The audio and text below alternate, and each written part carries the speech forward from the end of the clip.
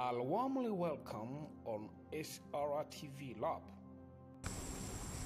Ladies and gentlemen, I give you a warm welcome once again on SRTV Lab.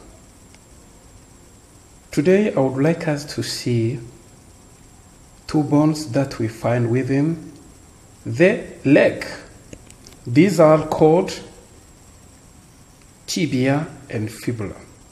We are going to see their parts and the joint between the two bones. Let's start with the anterior view of tibia. You remember this is tibia. Let's start from the proximal part. When we start from the proximal part, do you see this prominence? It's called tibial tuberosity. This is the attachment for patella ligament. The ligament that go through patella to here. This is tibial tuberosity. Good. When you come here laterally, lateral part, it is this part that at the side, at the side of fibula. This is lateral condyle. When you go medially, this is medial condyle. But as you can see here, this is the knee joint. The joint between tibia and uh, femur. This is the knee joint. Okay, good. This is lateral condyle. This is medial condyle. Good. This part, this one that is on top of the lateral condyle, it's called articular surface of lateral condyle. This is the part that articulate with femur. Then we go medially. This is another groove-like. This is the articular surface of medial condyle. You get me? Articular surface of lateral condyle, articular surface of medial condyle. This is intercondylar eminence. This prominent part between the two articular surfaces is called intercondylar, which means between condyle eminence, intercondylar eminence. This is the articular surface of tibia. Good, let's continue downward. You remember we have seen the proximal part.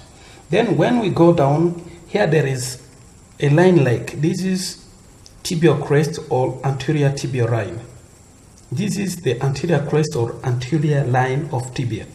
In all of this from the proximal to distal, this is called the shaft, the shaft of tibia.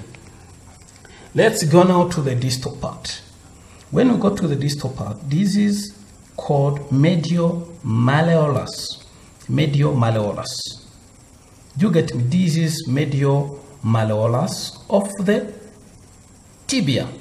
Of course, there is no other medial malleolus of another bone. This is the medial malleolus. It is part of tibia. Good. Let's shift go to the lateral part, which is this bone. Remember, it is called fibula.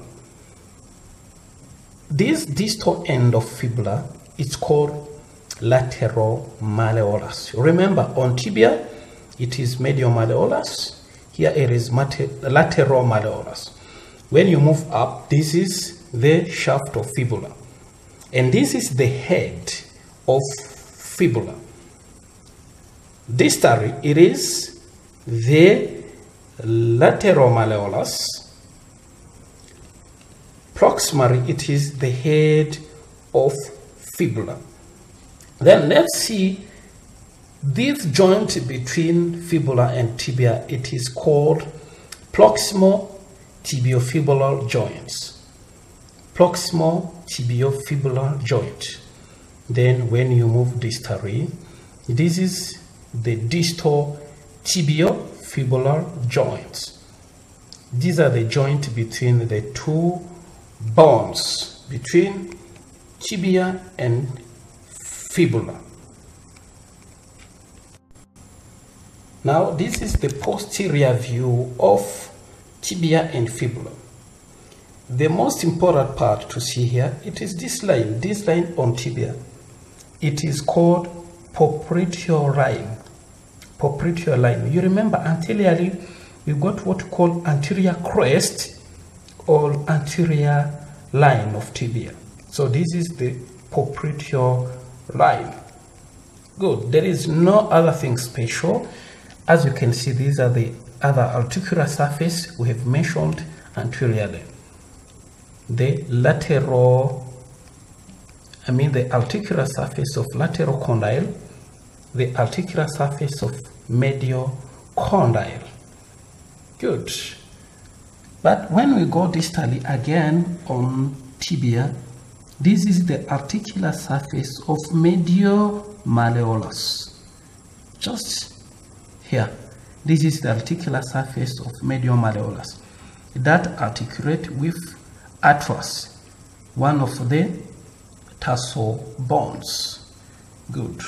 So, in summary, those are the part of tibia and fibula. Those are the bones that we find within the leg. So, guys, thank you very much. So, guys, thank you for watching the video. I hope it's very helpful. So please, don't keep this information just with yourself. Share this information to your colleagues. And see you in another video next time. May God bless you abundantly. Please support this channel by pressing like, subscribe and the bell. This is a huge support for this channel. May God bless you.